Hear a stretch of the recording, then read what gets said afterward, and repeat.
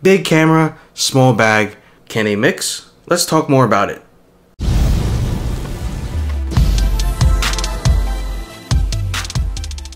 If you have a big camera, you're probably wondering, why do I need a small bag? After all, I have a big backpack that I can lug it around. Well, to be honest, some places don't allow backpack for security reasons, so you must have a small bag. And if you wish to bring your DSLR or your mirrorless camera around that's gripped, you have limited options because a lot of the small bags can only fit cameras that don't have a battery grip. Now before I continue, I want to mention that this video is not sponsored. I've done my research in terms of comparing bags, prices, features, ratings, stuff like that, and I came across this one that looks pretty good, so I decided to give it a try.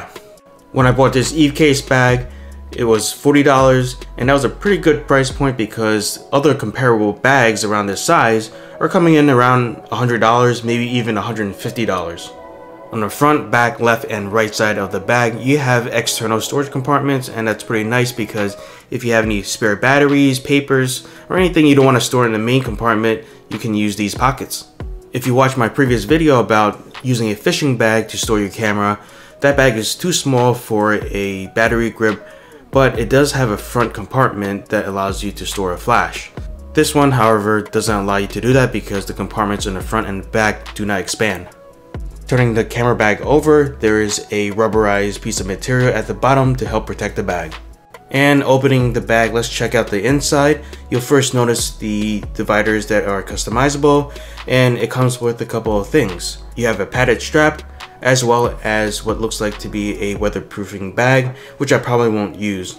Small things such as memory cards could be stored up top. These are locked in with Velcro.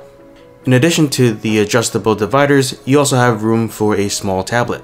The side pockets open up with a zipper, and inside there's a small netting you can use to organize its contents.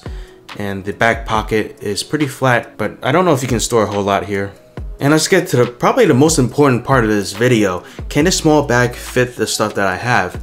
So as you can see, I have my Sony mirrorless camera and attached to that I have the Sigma 85mm 1.4 which is a pretty big lens. I also have the Sony 24 to 105 f4 lens which is a mid-sized lens um, so I'm going to use these two as an example. I have the dividers set up so that there's one divider um, which is big enough for a camera plus lens and then some accessory whether it's another lens or something like a flash. One thing I have trouble with is having a camera with a lens mounted, a spare lens, plus a flash fit into the bag. I found that if I try to force the flash in, it might not be in a part where it's padded, so it can potentially get damaged if I accidentally drop the bag. So in this case, I'll probably just compromise and either put in a lens or a flash.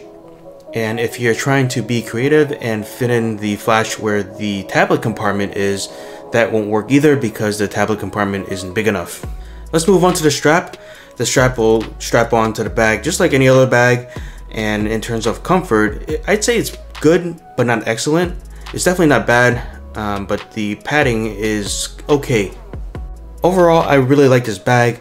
I think the only downside for me is that I can't fit the flash in the front compartment, which is unfortunate, but for $40, I can't really complain, especially since other bags are much more expensive than that. And if I want a bigger bag, I can always grab my backpack. Thanks for watching. Don't forget to like, share, and subscribe as always, and I'll see you next time.